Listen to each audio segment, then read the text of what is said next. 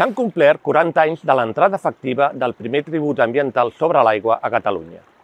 En un exercici de transparència us explicarem el destí d'aquest tribut, doncs sense l'esforç de la ciutadania i la indústria no hauríem arribat on estem i no podríem desplegar noves actuacions al cicle de l'aigua. En aquest vídeo t'explicarem el perquè d'aquest impost, la seva evolució i quins són els reptes de futur que afrontem.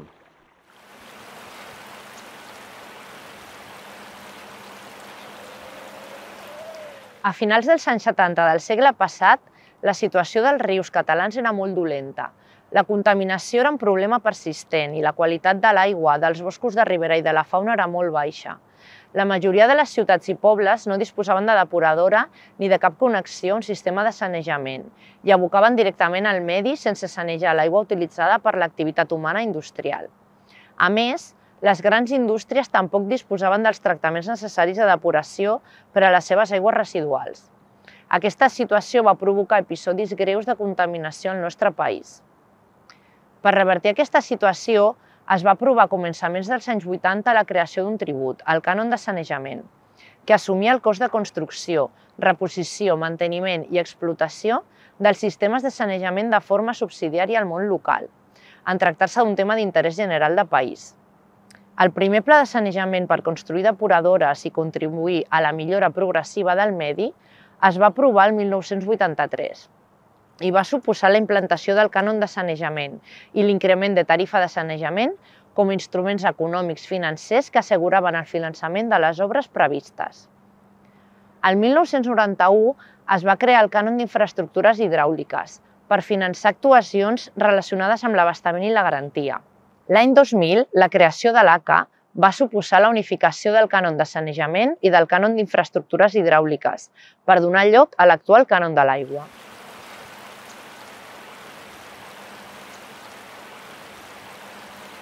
És molt important traslladar a la ciutadania quin és el destí del que es rep a través del cànon de l'aigua. Casos d'èxit són la millora de la conca del riu Besòs, on, gràcies a les depuradores instal·lades, s'ha pogut recuperar la fauna piscícola juntament amb la resta de vida associada a l'ecosistema. Això ha permès el retorn de la llúdriga, mamífer que només es pot trobar en ecosistemes del valor ecològic. També s'ha pogut finançar la millora de la qualitat de totes les platges litorals, amb el reconeixement internacional de 96 platges amb bandera blava el 2023, o la renaturalització de rius mitjançant una gestió compartida amb entitats ambientals, com és el cas del tram final del riu Gaià. La necessària tributació de l'aigua ha permès construir no només prop de 550 depuradores d'aigües residuals i altres projectes importants per millorar la qualitat de l'aigua, sinó millorar la garantia de subministraments i la qualitat hidromorfològica i ambiental dels rius.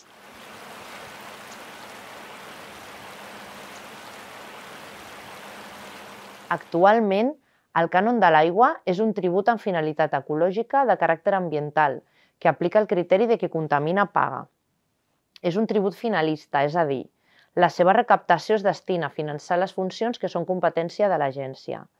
L'estructura actual del cànon de l'aigua té com a objectiu incentivar l'estalvi i la gestió eficient dels recursos hídrics, al mateix temps que es busca garantir un accés equitatiu de l'aigua per a tots els ciutadans. Per exemple, s'ha implementat una tarifa social que estableix la seva gratuïtat a aquelles persones de convivència que no superin el primer tram de consum, establert en un metres cúbics al mes. L'objectiu de garantir l'accés a l'aigua a les persones més vulnerables. S'amplien els trams de consum per a aquelles unitats de convivència de més de tres persones que així ho sol·licitin. I existeixen quatre trams de consum amb tarifes creixents per a usos domèstics, estimulant un ús responsable de l'aigua i assegurant la seva assequibilitat per als consums bàsics. D'altra banda, la tarifa individualitzada industrial aplica el principi de qui contamina paga de manera que les empreses que produeixen més residus hídrics paguen més per la seva gestió, incentivant així una producció més sostenible i respetuosa amb el medi ambient. Mitjançant el cànon de l'aigua, es recapten de mitjana més de 450 milions d'euros a l'any, que es destinen a finançar les activitats pròpies de les competències de l'agència. L'actual pla de gestió de les conques internes preveu un seguit d'actuacions a executar per valor de 2.400 milions d'euros.